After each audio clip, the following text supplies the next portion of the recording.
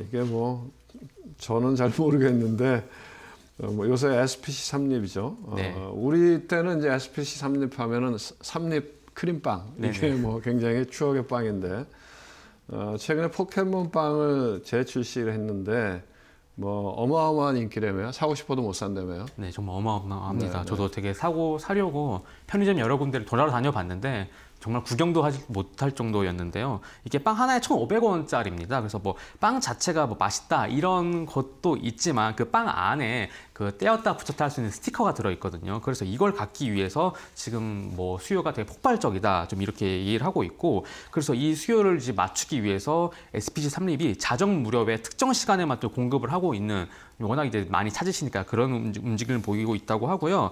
이게 지난달 24일에 판매를 시작한 뒤 20여일 만에 450만 개가 팔렸다고 합니다. 그래서 이게 만약 빵 자체가 너무 맛있다고 예전에 뭐 허니버터칩이라든지 이런 유행이 있었잖아요. 그래서 맛있다고 하면 맛있어서 잘 팔리는 거면 한번 먹어보면은 뭐 다음에 안 먹을 수도 있고 그런 건데 이 안에 스티커가 다 다르고 하다 보니까 이 스티커를 모으기 위해서 계속해서 사들이는 사람들이 많아서 굉장히 수요가 당분간 지속될 것이다. 좀 시장에서는 이렇게 보고 있습니다. 아 그래요. 누가 사나요? 아이들이 사 나요? 아니면 어른들이 사나요? 잘 아이들도 좀 원하는 반대 사실 네. 30대, 40대 분들이 제일 많이 산다고 해요. 그래서 네. 예전에 3, 40대 분들이 예전에 포켓몬 그 만화를 이제 TV에 네. 봤을 때 2000년대 중반 그때쯤에 유행했던 건데 그때의 추억 때문에 다시 이걸 좀 사려고 노력을 하고 있다고 합니다. 그런 것 같은데 저도 우리 큰애가 키울 때이 네. 포켓몬 이거 되게 열광했던 기억이 있거든요.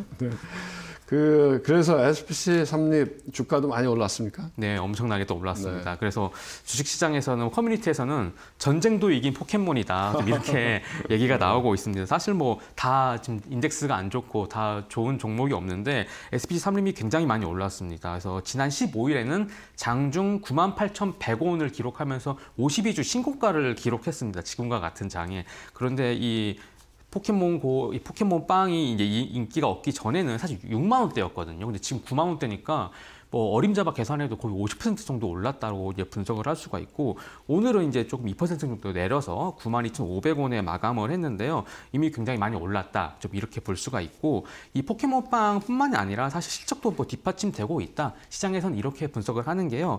어 이제 SP 삼립이 작년 매출액이 2조 9,470억 원이었고 영업이익이 800억 원이었는데 이게 전년 동기 대비해서 5.6% 21.6% 각각 늘어난 수준으로 지금 분석이 됐고요.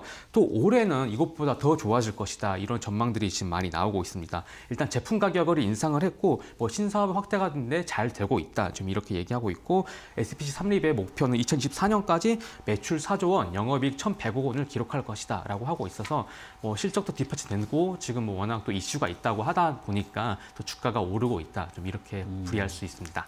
근데 아무래도 빵을 만들려면 밀가루로 만들 거 아니에요? 네. 근데 최근에 밀가격이 많이 올라가서 예, 맞습니다. 예상한 실적이 나올까 좀 구- 약간 의아한 생각이 드네요.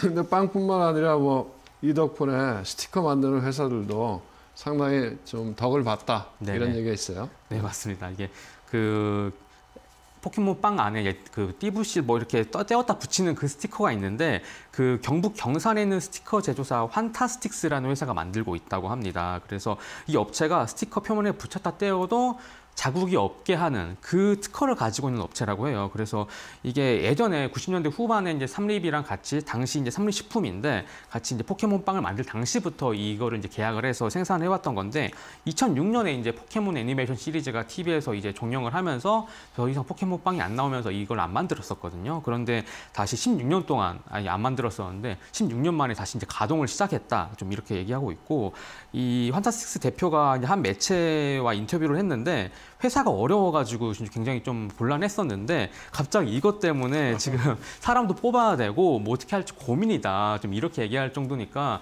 어 지금 뭐 포켓몬 빵의 열기가 좀 대단한 것 같습니다. 네, 다행이네요.